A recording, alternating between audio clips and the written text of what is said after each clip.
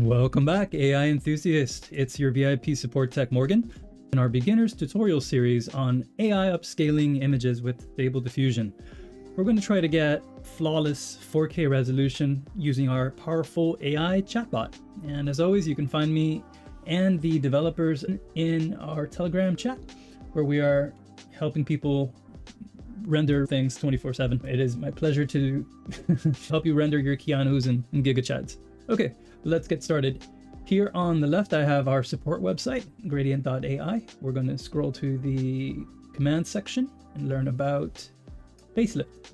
Facelift is our general upscaling command. I'm going to go into the general channel here, and we've got some cool pictures. Let's see. Okay, we've got some anime, and I'm going to choose this one. I'm going to reply to it. That's how I select it. And now it's got a text box at the bottom where I can write my message, and I'm just going to write facelift. And I'm going to use the anime mode, and uh, we'll set that up. Okay, so that's coming in a few seconds. And while that's facelifting, we can go ahead and try a, different prompt go somewhere else. Okay, so I'm in my chatbot here. I've copied another popular prompt from the internet just to review what we covered in lesson four, the render parameters that you can add. Here I've added render, I've added a size, my steps, a sampler, and positive prompts using, using parentheses and negative prompts using square brackets, stabby brackets to make things go away. And I'm going to use the perfect world concept.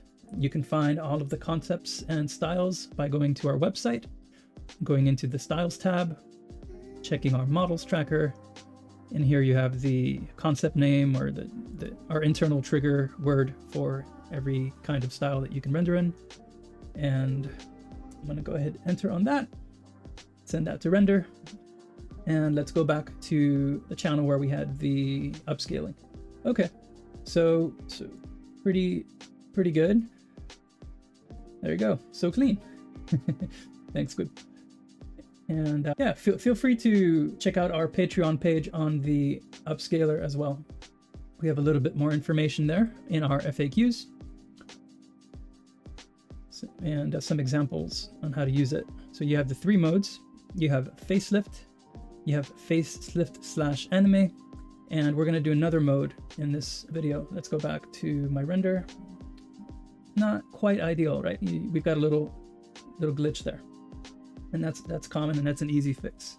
So facelift by itself, if you type it just like that, this is gonna do a similar mode to what's on your um, smartphone where it kind of smooths blemishes and it's going to hide you know, wrinkles and it's going to hide freckles, small, small age spots, that sort of thing.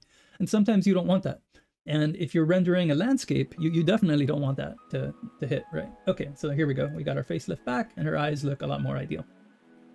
nice, nice Apple photo, nice Apple logo. And uh, like I said, we'll, we'll do we'll do the hands one a, a different different time. That, that's a that's a different process. So in the case of like rendering a landscape, you would want to do slash facelift slash photo and then that will bypass the face retouching. So your shrubbery doesn't get retouched like a face. So those are the, the, the three basic modes. Now, one thing I wanted to add is, and a, and a rookie mistake that I made when I was going into this at first, was trying to do a render immediately at 4K, trying to do render size 4K. And that and the reason that doesn't work is stable diffusion models are trained at 512 by 512 or 768 by 768. So when you amplify that, and when you, you go into different very wide aspect ratios, especially, you will get twins. You, you'll get double. In some cases, that's cool, but you probably don't want the same person in the same shot. And you also get some funny effects like head stacking. So here I've pulled up our subreddit. It's reddit slash r slash pirate diffusion, and we've got an amazing hilarious gallery head glitches when the aspect ratio is too large.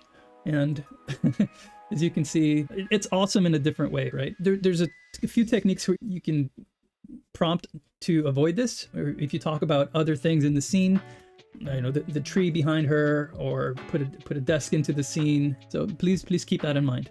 Okay, so going back to our perfect world render here. So we have some Zeldas, pretty pretty flawless, I have to say. Perfect world gets anatomy right most of the time if we don't count the fingers. we'll do we'll do the fingers one later. But okay, so this photo already looks good. And let's say that we want to upscale it. So we'll do right click reply, right click facelift. I don't want photorealistic results. I want anime this time. And when I say anime, I mean uh, not realistic. So for example, a painting like this would work well with anime maybe over over typical reset retouch type. And uh, let's take a look. Okay, nice. So here at the bottom, if you if you look at where my mouse is, you can see the, height. So, so we've really pushed the pixels on that original 576 by 960. And we can we can if if there was a a, a glitch in the original, you, you, can just go back and you can touch where you prompted it, and it'll take you right back to the prompt, and we can make changes. It works the same way on our website. I'm going to type slash community to launch my private mini website. Here I am. I'm gonna get in with my password. Make a pin, log in. Now it's not going to show me the, the, stuff that I was just rendering because I was in another room, but we can still work here. Let's uh, let's upscale one of my robot fish and it's easier on our on our website. You can just go in and hit the facelift button, and it's the exact same exact same thing. And then we're going to add uh, maybe a pull down here, so you can get into the the anime and the photo modes as as we just launched this feature. So that is it for facelift. Morgan, hit me up in the VIP chat, in the beginners chat. Always happy to help you with your images, and we'll see you in the next video. Take care.